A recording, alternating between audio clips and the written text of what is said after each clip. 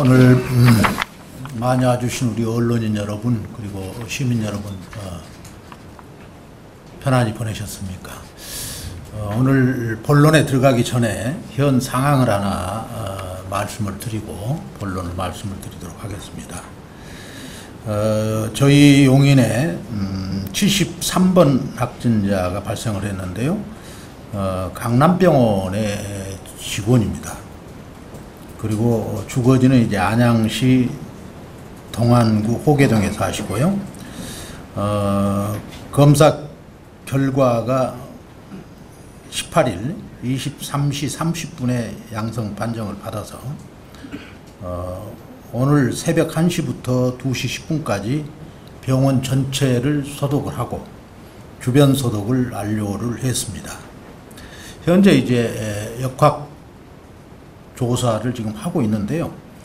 어, 현재 그 5월 14일부터 15일 사이에 에, 이분이 이틀에 걸쳐서 어, 저녁 식사 등 타 지역의 친구 다섯 분과 같이 활동한 사례가 있고요. 그 다음에 이제 강남병원은 어, 18일 23시 30분부터 현재 병원 전체를 코트 정리, 코트 격리를 해서 진료를 중지하고 있습니다. 어, 현재 지금 안에 계신 분들은 어, 직원, 환자, 그 다음에 의료인에서 약 426명이 계시는데요. 아마도 이제 한 이틀 정도 어, 격리를 해서 어, 더 어, 진단 후에 아마 격리 해제 여부를 결정할 것으로 판단이 됩니다. 어, 현재 역학조사관들은 어, 동선 파악 및 CCTV 분석을 하고 있고 역학조사 범위를 5월 16일부터 어, 5월 18일 사이로 지금 하고 있습니다. 어, 또 확진자 금 직원이 그 병원에서 근무한 날짜는 16일 날 09시부터 13시, 18일 날 09시부터 11시 30분까지 어, 진료를 근무를 하신 걸로 되어 있고요. 그 다음에 이분이 교통표는 어, 분당선을 이용했는데 기흥역에서 서현역을 출퇴근할 때 이렇게 이용하신 걸로 나타나 있습니다. 어, 현재 접촉자는 병원 안에 계신 분을 제외하고 밖에 지금 이제 계신 분들이 135명인데요. 그분들에 대해서 일일이 지금 통보를 해서 어, 자가격리를 하고 그 다음에 이제 저희들이 필요하면 어, 채취를 하러 가도록 이렇게 하겠습니다. 뭐 어, 전체 병원이 코트 격리가 되어 있기 때문에 혹시 강남병원을 이용하실 분들은 사전에 전화를 하시고 확인한 후에 여러분들이 병원에 가시는 것이 바람직하겠습니다. 현재는 진료가 불가능하다 하는 것을 여러분들이 염두에 두고 하시면 되겠습니다. 어, 오늘은 어, 제55회 발명의 날입니다. 음, 대한민국에서 개발한 코로나19 진단 키트는 우리나라를 체, 세계 최고의 방역 선진국으로 우뚝 세웠고 더 나아가서 감염병 위기로 어려움을 겪는 세계 각국을 구하는 엄청난 역할을 하고 있습니다. 어, 밤잠을 줄여가면서 단기간에 세계 최고의 진단 키트를 개발한 연구진 모두에게 깊은 감사를 드립니다. 아울러 코로나19 백신과 치료제까지도 세계에서 가장 먼저 개발할 수 있게 되기를 진심으로 기원합니다. 존경하는 시민 여러분, 지난 일주일 동안 우리 용인시에서 코로나19 확진자가 나오지 않다가 어젯밤에 방금 말씀드린 어, 음, 인원을 포함해서 어, 또 추가적으로 두 명이 나왔습니다. 어, 용인 시민 한 분과 간내 거주자 한 분이 간내 보건소와 병원에서 확진 편정을 받았는데 현재 역학조사가 진행되고 있습니다. 조사 결과가 나오는 대로 시민 여러분께 신속하게 알려드리도록 하겠습니다. 어, 이로써 우리 시의 확진자는 간내 등록 73명, 관내 등록 17명 등 90명이 되어 있고 이 가운데 현재 14명이 입원 치료를 받고 있으며 나머지는 완치되어 퇴원해 있습니다. 지난주 시민 여러분이 크게 우려하셨던 이태원 클럽발 감염 사태도 마 지금 아까 현 상황을 말씀할 때 일부 거기에 갔다 온 분을 접촉한 것으로 알고 있는데 어, 그러나 하여튼 차츰 어, 수그러드는 것만은 확실한 것 같습니다. 우리 시는 이번 사태 확산을 막기 위해 지난 5월 7일 이후 1263명에 대해 코로나19 진단 검사를 했습니다. 이 가운데 1명이 양성 판정을 받았고 1258명은 음성으로 나타났으며 4명에 대해서는 검사가 진행 중에 있습니다. 시는 또 검사 대상자의 비밀 보장을 위해 전용 전화까지 개설해 총 5,426건의 전화 상담을 진행했습니다. 이와는 별도로 32개 점검망을 편성해 195개 유흥주점과 5개의 콜라텍 등 집합 금지 명령이 내려진 200개 유흥시설에 대해 매일 행정명령 이행 여부를 점검하고 있습니다. 존경하는 시민 여러분, 그리고 언론인 여러분, 오늘은 우리나라에서 코로나19 확진 환자가 발생한 지 4개월 되는 날입니다. 우리가 비정상적인 상황을 이어온 게 그만큼 오래됐다는 뜻이기도 합니다. 코로나19로 경제활동이 위축되면서 실업급여 수급자가 매달 역대 최고치를 경신하고 있고 청년들의 취업문은 갈수록 좁아지고 있습니다.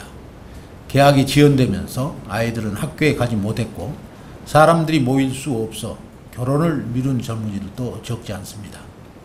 그래도 국제통화기금 IMF에서는 우리나라가 36개 OECD 국, 선진국 중 최고의 경제 성장률을 이룰 것으로 전망하고 있고 이 또한 우리가 하루라도 빨리 코로나19를 극복하고 이전에 정상적인 상태로 돌아가야 하는 이유이기도 합니다. 이와 관련해 정부가 사회 전체를 코로나19 발생 전의 정상적인 상태로 되돌리기 위해 중간 단계로 채택한 생활 속 거리두기를 시작한 지 15일이 됐습니다.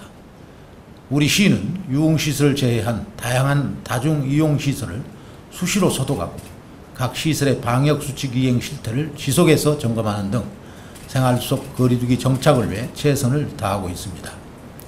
관내 26개 대형 유통시설과 전통시장은 물론이고 결혼식장이나 장례식장, 공연장, 박물관, 숙박업소, 목욕탕 등을 직접 방문해 방역수칙 준수 상태를 꼼꼼히 살폈습니다.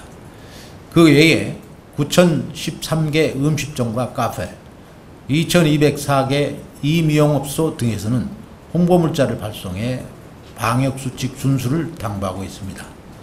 관내 다중이용시설에서 확진 환자가 발생하지 않도록 방역수칙을 철저히 준수해 주신 각 시설 방역관리자 여러분께 이 자리를 빌려서 감사 인사를 드립니다. 대단히 감사합니다. 존경하는 시민 여러분, 정부가 예정대로 내일 고3 학생을 어, 시작으로 각급 학교의 개학을 단계적으로 단행합니다.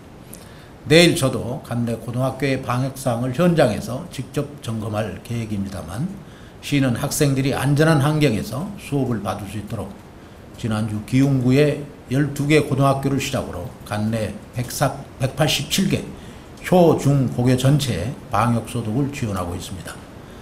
또 모든 초, 중, 고교에 체온계를 지원했고 학생이 많은데도 열화상 카메라가 없는 용현 바이오고 등 6개 학교엔 열화상 카메라 설치를 지원할 방침입니다.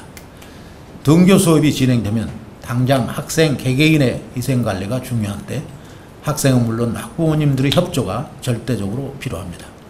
가족 중에 격리자나 해외여행을 다녀온 사람이 있는 학생은 등교하지 말아야 합니다. 학부모님께서 발열이나 인후통 등 코로나19 의심 증상이 있는 자녀를 등교시키지 말고 가정 내에서 상태를 관찰하거나 선별진료소에서 진단검사를 받을 수 있게 해주시길 간곡히 부탁드립니다. 앞에서 말씀드린 것처럼 우리가 위험부담을 안고서도 생활 속 거리 두기를 시행하는 것은 경제 활성화가 그만큼 시급하기 때문입니다. 시는 전국 최초로 초중 고교생 전원에게 지원하는 돌봄 지원금과 전 시민을 대상으로 하는 재난 기본소득을 서둘러 지급해 이미 지역경제 활성화에 상당한 성과를 거뒀습니다. 돌봄 지원금의 경우 지난 18일까지 88.2%가 지급됐는데 오는 29일이면 신청이 마감되니 서둘러 주시기 바랍니다. 시는 사정상 읍면동 방문이 어려우신 분들을 위해 해신용 봉투를 동봉해서 신청서를 보내드릴 계획이니 반드시 신청해 주시기 바랍니다. 경기도와 함께 지원하는 재난기본소득은 이미 94.6%가 지급됐습니다. 신청 기한은 7월 말까지이지만 지역경제 활성화를 목적으로 시행한 것인 만큼 아직도 신청하지 않는 분들은 서둘러 신청해 주시기 바랍니다.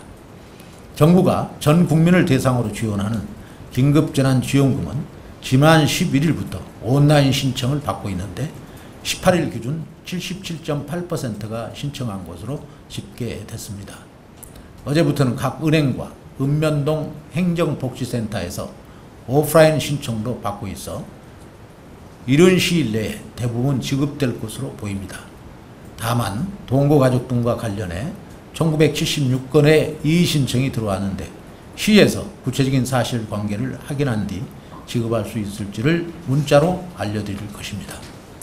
이처럼 돌봄 지원금과 재난 기본소득, 긴급 재난 지원금 등 세 가지 지원을 통해 가계의 살림살이에 보탬이 되고 골목 상권을 활성화하는 데도 큰 도움이 될 것으로 보입니다. 그러나 코로나19 위기로 일자리를 잃은 분들과 새로 일자리를 찾아야 하는 청년 구직자들에겐 이런 지원도 턱없이 부족할 것입니다. 정부는 이처럼 부족한 일자리 문제를 해결하기 위해 단기적으로 공공부문과 비대면 등으로 156만 개 일자리 제공 계획을 밝힌 바 있습니다. 이와 관련해 우리 시는 오는 7월 1일부터 11월까지 5개월 동안 공공부문에서 6천 개의 일자리를 제공할 계획입니다. 이를 위해 감염병 예방 및 확산 방지 사업뿐만 아니라 국공유지 실태 조사와 데이터베이스 구축 사업, 보상대장이나 공사대장 등 각종 종이대장 전산화 작업, 각종 안전시설물, 데이터베이스 구축 사업, 문화예술활동 인프라 정비 사업 등 일손이 부족한 분야를 중심으로 공익적 가치 창출이 가능하고 청년층 경력 개발에 도움이 되는 일자리 마련 방안을 검토하고 있습니다. 이번 공공부문 일자리 마련과 관련해선 시민 여러분의 아이디어도 적극적으로 수용하려고 합니다. 공공부문 일자리 창출 아이디어가 있으신 분은 전담, 전담 TF팀 또는 전용 전화 324국에 6000번, 324국에 6000번으로 제안해 주시기 바랍니다. 시민 여러분들의 적극적인 참여를 당부드립니다. 존경하는 용인 시민 여러분, 그리고 언론인 여러분, 전문가들은 코로나19를 나쁜 바이러스를 넘어서 잔인한 바이러스라고 합니다. 기존의 바이러스보다 훨씬 빨리 전파될 뿐만 아니라 감염될 경우 가까운 사람에게 더욱 큰 피해를 주기 때문이라고 합니다. 그런 만큼 우리는 코로나19를 더욱 적극적으로 대처해야 하고 그러기 위해선 모든 국민이 한 마음으로 힘을 모아야 합니다. 한때 우리가 잠깐 방심하던 차에 급속도로 퍼지던 이태원 클럽발 코로나19는 이제 조금씩 잡혀가는 추세입니다. 그렇지만 아직도 지역사회 감염이 완전히 사라지지 않는 만큼 끝까지 마음을 놓지 말아야 합니다. 코로나19는 부중상 전파가 많은 데다 잠복기가 14일 정도 갈 만큼 길기에 지역사회 감염이 완전히 사라지더라도 일정 기간은 경계를 유지해야 합니다. 특히 내일부터는 우리 아이들의 개학이 단계적으로 시작되는 만큼 더더욱 주의가 요구됩니다. 존경하는 시민 여러분, 생활 속 거리두기는 정상적인 생활을 하면서 코로나19를 떨쳐버리자는 것입니다. 이는 정부나 보건 전문가가 할 수 있는 게 아니고 모든 사람이 방역 전쟁의 일선에서 스스로를 지켜야 한다는 것을 의미합니다. 직접 현장에서 방역을 하라는 얘기는 아닙니다. 정부가 생활 속 거리두기를 시행하면서 제시한 개인 방역 5대 핵심 수칙을 반드시 지켜달라는 것입니다. 여러분께 다시 한번 부탁드립니다. 아프면 3, 4일 집에서 쉬고 사람 사이는 충분한 거리를 두며 손을 꼼꼼히 씻고 기침할 때는 옷소매로 가리며 실내 공간은 매일 두 번 이상 환기하고 전화나 SNS로 자주 연락해 마음의 거리는 좁혀 주십시오. 이제 세계에서 가장 먼저 코로나19를 극복한 나라, 세계에서 가장 완벽하게 코로나19를 퇴치한 나라가 되는 날이 머지 않았습니다. 그리고 그 1등 공신은 여러분 모두가 될 것입니다. 대단히 감사합니다. 어, 오늘 질문은 어, 제가 지금 어, 특례시와 관련해서 어, 법안 소위가 지금 여의도에서 열리고 있기 때문에 제가 거기를 가야 되기 때문에 여러분들이 어, 댓글로 질의를 해주시면 어, 나중에 어, 우리 실무자들 통해서 답변을 드리는 그렇게 방향으로 하겠습니다. 대단히 감사합니다.